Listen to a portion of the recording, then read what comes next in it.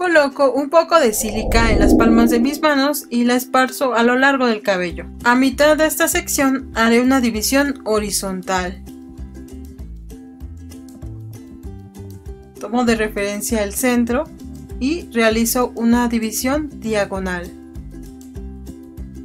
Parto en forma de triángulo y separo esta primera sección con un pasador. Luego Tomaré una sección de un centímetro horizontal.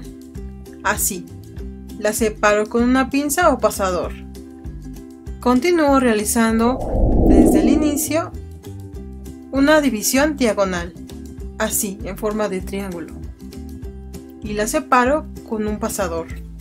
También separo esta última sección al límite de las anteriores. Continúo dividiendo la sección del centro en dos. Continuamos tejiendo la primera sección. Recuerda tomar siempre al inicio mechones finos o delgados. Y continuamos tejiendo a lo largo. Recuerda ir tejiendo hacia la orilla, es decir, hacia el lado derecho de esta. No hagas la trenza muy centrada. Así como puedes ir observando. Continuaré tejiendo un poquito más hacia el final. No las voy a terminar hacia la punta, solo un poco antes de llegar, para que no se aflojen. Y continuamos tejiendo las siguientes dos secciones. Recuerda que estas trenzas, al iniciarlas, toma mechones sumamente delgaditos y ve trenzando siempre pegada a la cabeza. Es decir, pega lo más que puedas tus manos a la cabeza sin que se despeguen. Así continuamos con la siguiente trenza. Recuerda que no las vamos realizando hasta la punta, solo un poco más donde hemos terminado de aumentar el cabello, para que no se afloje. Continuamos con la cuarta sección. Recuerda que vamos tejiendo una trenza invertida o trenza postiza, también llamada trenza pegada. Y recuerda que vamos tejiendo de manera orillada, es decir, que no vamos tejiendo de manera centrada, así como puedes ir observando. Recuerda que al límite de las trenzas puedes colocar una liga. Yo simplemente he realizado un poco más la trenza para que no se afloje.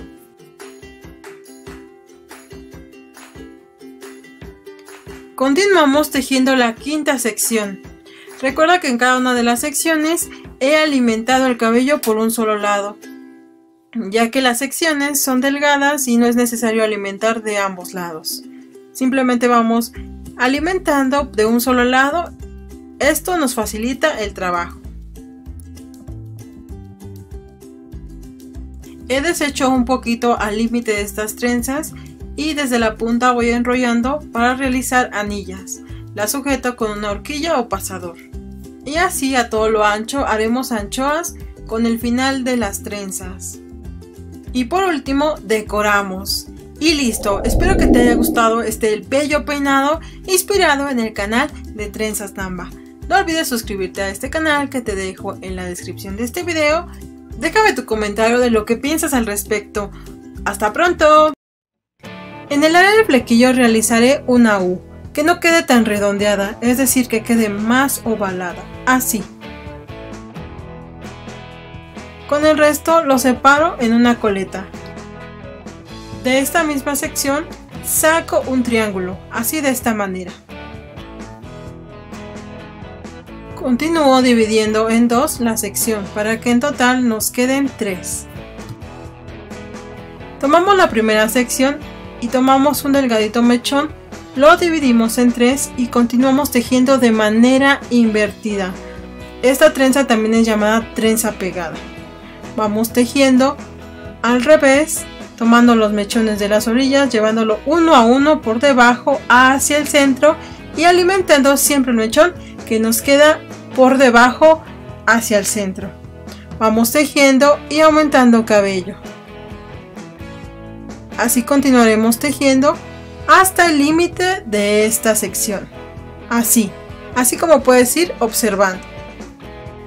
Del otro lado continuamos tejiendo la siguiente sección de igual manera realizando una trenza pegada, así como puedes ir observando. Solo vamos tejiendo al límite de la sección, yo me he pasado un poco. Para que no se afloje mientras voy realizando la siguiente sección y continúo tejiendo de la misma manera. He tejido ya las tres secciones y la del centro, bueno, se queda por debajo y las dos siguientes cruzan, así como puedes observar. Continúo sacando un círculo de la coronilla y de la orilla de este mismo círculo voy a sacar una delgadita sección, así. Esto también del otro lado. Continuamos sujetando este círculo en una coletita. Tomamos la trenza del centro y de la sección que separamos previamente de alrededor vamos tomando mechones y aumentándolos a esta. Vamos realizando una trenza invertida o trenza postiza. Así vamos tejiendo y aumentando cabello de un lado y del otro también. Al terminar sujetamos eh, la trencita con la misma liga de la coleta. Así como puedes ir observando. Es un peinado aparentemente muy sencillo, pero si realizas estos pasos en un orden te va a resultar mucho más fácil tener un excelente resultado. Del contorno del círculo sacamos una sección muy delgadita, muy finita, casi de medio centímetro o menos. Así como puedes ir observando. Tanto sacamos de este lado como del otro lado también y recuerda que separamos estos mechoncitos y el resto del cabello lo separamos previamente en una coleta para que no nos estorbe. Tomamos la trenza que hemos cruzado previamente y de la sección que previamente hemos separado vamos tejiendo y aumentando cabello a esta para que la mantenga fija a todo alrededor de esta sección.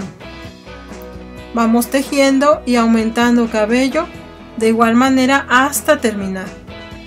Ya aumentado todo el cabello, continuamos un poco más hacia la coleta y fijándola por debajo de la liga de esta. Así como puedes ir observando. De igual manera continuamos tejiendo ya con la trenza cruzada de la parte de enfrente y continuamos aumentando cabello con la sección que previamente separamos de todo alrededor. Recuerda que vamos tomando cabello o aumentándolo a la trenza de un solo lado, ya que la sección es muy delgadita y no hay ningún problema. Continuamos tejiendo hasta la coleta y fijándola por debajo de la liga. De la coleta voy a enrollar desde la punta hacia la coleta, realizando un chongo simple muy sencillo Tú dale el toque personal o dale el acabado que más prefieras. Voy colocando dos pasadores de manera encontrada para que no se nos deshaga este chonguito. Y por último, decoramos. Muchas gracias por habernos acompañado hasta el final de este video. No olvides suscribirte, activar la campanita, regalarnos un like y dejarnos un comentario de qué peinado te gustaría ver la próxima vez. ¡Hasta pronto! Y no olvides suscribirte al canal de Trenzas Namba y la reina de las trenzas.